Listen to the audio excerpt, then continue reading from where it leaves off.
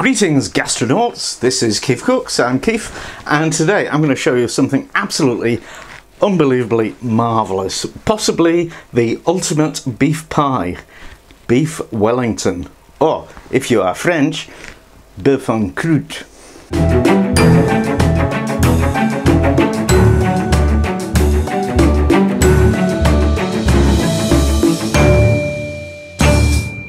Well, you know, it's not really a pie, but my, my definition of a pie says a pie is a filling totally enclosed by pastry. And so that ticks all the boxes. However, uh, it's a really, truly marvellous thing. Um, an absolute whiz for a dinner party or a you know a special occasion. Yeah, so this this dish is is one for when you want to really push the boat out because the main ingredient, the beef fillet, will you may need to take out a mortgage to get some. It's astoundingly expensive. However, my lovely, lovely butcher let me have some for 10 euros a kilo. Lucky me. Anyway, so the ingredients are a big chunk of fillet steak. This is only about 600 grams which is going to be more than plenty for me and the wife, believe me. uh, some mushrooms, not your average button mushrooms, but um, you know, I've got some shiitakes and some uh, cultivated wild mushrooms and half an onion. And some puff pastry, you can buy it or you can bake it yourself. I made this. I've also got some clarified butter, salt, pepper, thyme and mustard. Yeah. Get rid of that rotten bit in the middle. Blip. And chop it, chop it as uh, finely as, as you can. You could actually do this in a blender, but you run the risk of turning your mushroom and onion mix into a smoothie. and uh, we don't want that. We want to get it almost minced. Okay, so this is the onion and that'll more or less do. And now we do the same thing to the mushrooms.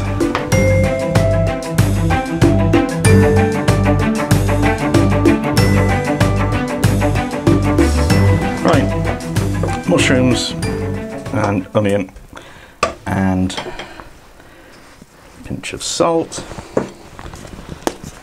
some thyme. I hate these little sprinkly things. They're just they give the people the wrong idea because you know with herbs and that you need lots. Pepper. And we're going to stir that all up and then we're going to fry it because we want to get this into a state of being like a dry paste and mushrooms contain tons of water so that has to go. Frying pan, a splash of oil, medium heat and the duxelle mixture and we're just going to cook this gently for probably 10 to 15 minutes until all the moisture is gone and it's it's a thick and sticky paste. Right, the uh, duxelle is cooked and so we just pop it into a container and we'll stick that in the fridge to cool down. So now we have the star of the show, the fillet, and um, ideally we would have a, a bigger rounder piece but um, you know for what I paid for this I can't argue. However, um, and it's amazingly expensive stuff. In the UK, you could pay between 30 and 50 pounds a kilo for this stuff. And the, the reason it's so expensive is it's it's so it's so tender. There's no there's no fat, there's no gristle. Uh, there's a bit of silver skin on here which I'm going to trim off.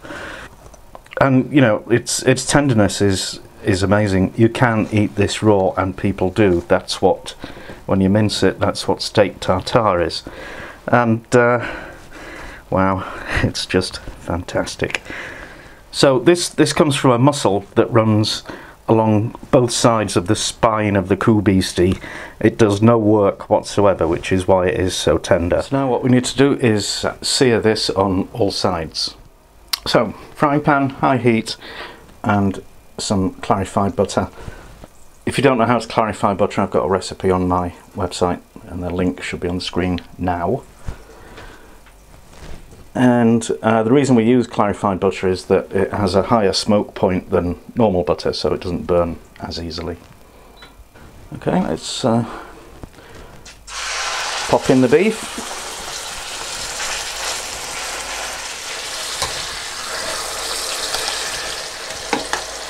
Don't forget to do the ends. Now, while it's still hot, I'm just going to cover it as much as possible with mustard. And now that goes in the fridge to cool down until we're ready for it. Right, the duxelle is cool enough to work with and so is the beef. So now I've got loads of plastic film stuck together and we're going to spread out the duxelle in a, an even layer that's no wider than the beef. And we pop the beef on, on that and wipe the mustard off our fingers and roll it as tightly as you can. Try not to get the cling film rolled inside the roll because that wouldn't be good. And twizzle it. Oh, okay. Now some more film.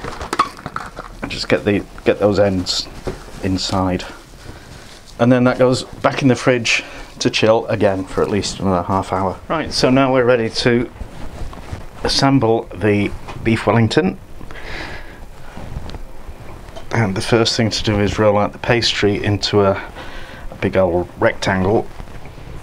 So just straighten up the edges with the, the steel ruler.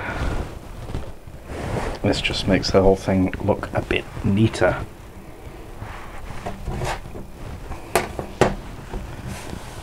Now we want some water, cold water, and we want our beef wrapped in the mushroom duxelle. And we place that on the pastry and just fold it into a kind of a parcel. Okay, that's good. So I'll wet the um, the edge, and then we'll just smooth that down to to seal it. And for the ends, we don't need all this extra pastry; it'll be too thick. So I'll just kind of trim some of it off, and we'll get a, a result like that. It's a bit like wrapping a Christmas present.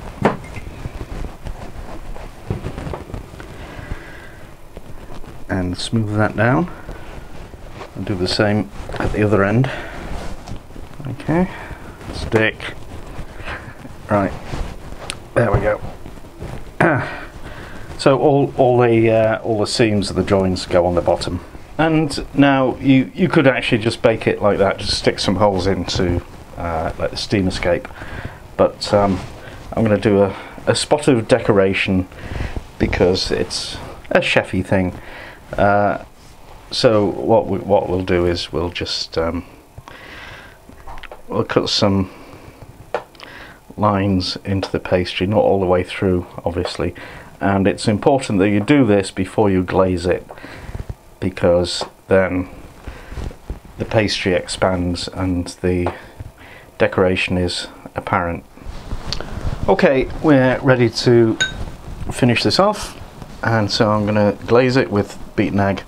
Now you might have come across recipes where it suggests or insists that you uh, wrap the beef in uh, crepes or little pancakes.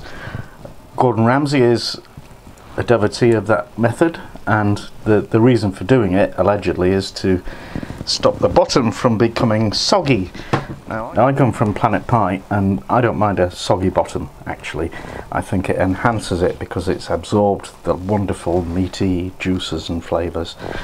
And the other thing you'll see is uh, pate, even pate de foie gras uh, stuck on the top of your, your beef I, I just think that that is ridiculous. That is way over the top in terms of richness. So I've got the oven preheated to 230 degrees Celsius and I'm going to stick this in for about half an hour. Okay, here's our amazing beef Wellington and it says moo. I'm going to let that rest for about 10 minutes um, just to let everything settle down a bit. Well, look at this. I would say that is damn near perfect. Absolutely amazing. Medium rare beef, still bleeding, nice soggy bottom, crispy crust. Whoa, phenomenal. That's all folks. If you liked it, please share it with all your buddies on social media and please follow us on Facebook, Twitter, Pinterest and don't forget the amazing website that has all the details about everything. And thank you for watching.